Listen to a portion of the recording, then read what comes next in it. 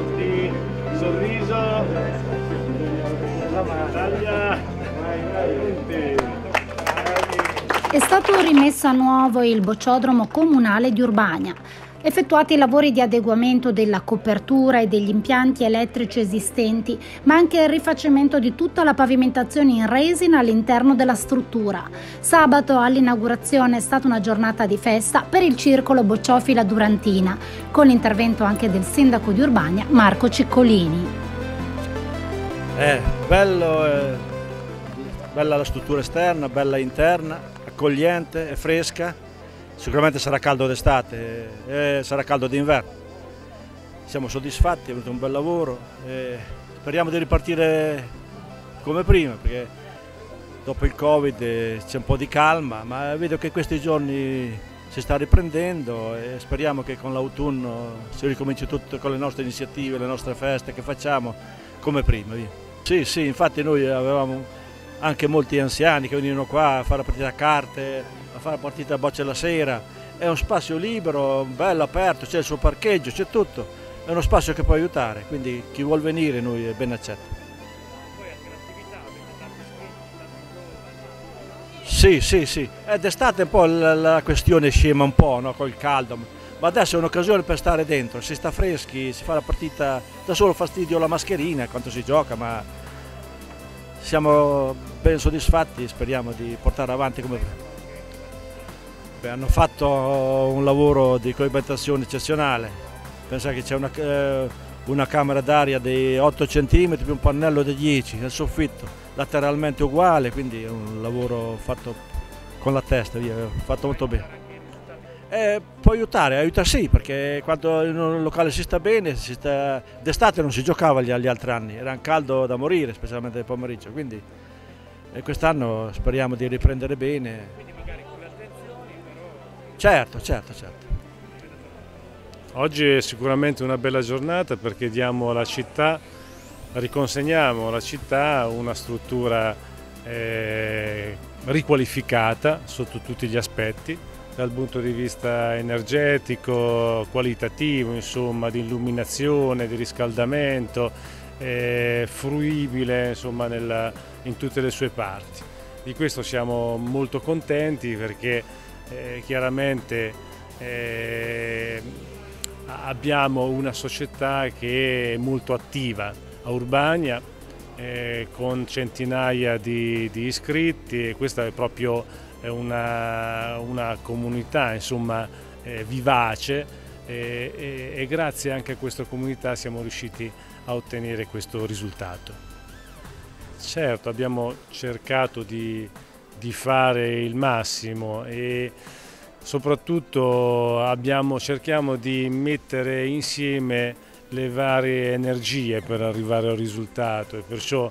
la collaborazione dei tecnici, l'associazione la, che eh, comunque con il proprio volontariato, con le proprie energie, con la voglia insomma, di arrivare ad un obiettivo la forza insomma, che ha avuto l'amministrazione di ricercare finanziamenti importanti per la ristrutturazione. Ecco, le, uh, il mettere insieme varie, varie energie ha portato a questo risultato. Allora, siamo oggi a inaugurare questo nuovo centro bocciofilo di Urbania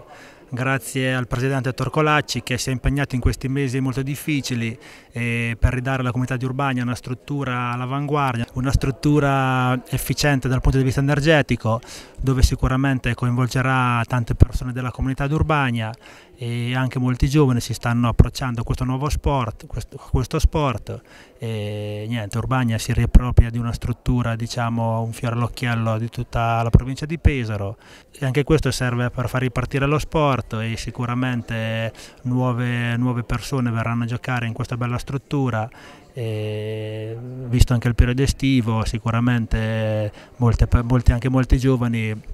verranno a giocare a bocce. Allora, il lavoro che è stato fatto è stato quello di riqualificazione energetica del fabbricato, cioè partendo da una struttura che era vecchia, obsoleta ed era nata sotto considerazioni anche normative diverse e vecchie,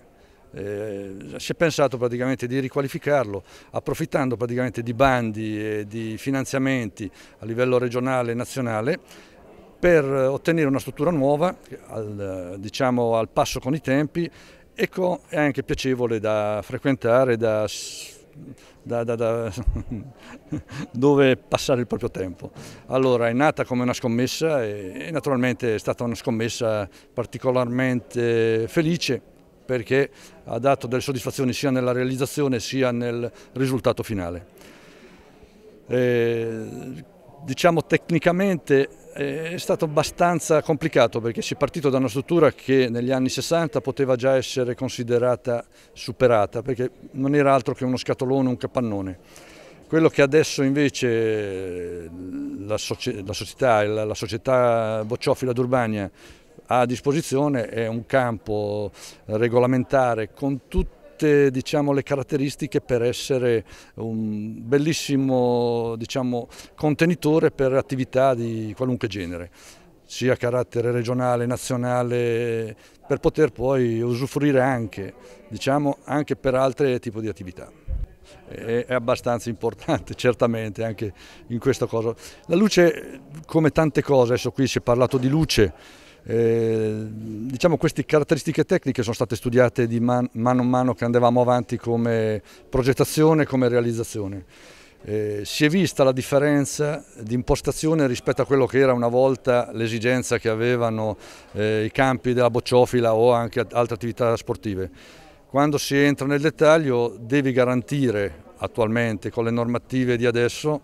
delle prestazioni che sono notevoli e per garantire prestazioni notevoli naturalmente bisogna entrare molto nel dettaglio nella progettazione. Volevo solo spezzare un, una lancia nei, diciamo, per i professionisti locali e per le ditte locali. Eh, l'amministrazione e anche diciamo, la bocciofila, la società che comunque ha collaborato molto nella realizzazione, ha spinto molto per utilizzare e far lavorare sia professionisti sia ditte locali. Questo si è riverberato diciamo, in un comportamento da parte delle ditte migliore, sia nel rispetto dei tempi, sia nel rispetto delle tecnologie, sia anche nel risparmio di costi per la realizzazione di quello che è stato fatto. E il risultato è stato sicuramente migliore di quello che sarebbe stato se diciamo, avesse, avessimo scelto una strategia diversa, cioè quella di fare lavorare ditte di fuori, magari risparmiando qualche soldo in, in prospettiva però sicuramente avremmo avuto un risultato ben diverso. Eh, io sollecito, come dicevo prima, le amministrazioni e soprattutto anche le società nell'utilizzare quando è possibile, quando è fattibile, anche naturalmente in rispondenza alla normativa che richiede certe cose, le maestranze locali, i professionisti locali, perché comunque in qualunque caso si giocano eh, giocano in casa e hanno voglia di fare bella figura hanno voglia di farsi vedere e farsi conoscere.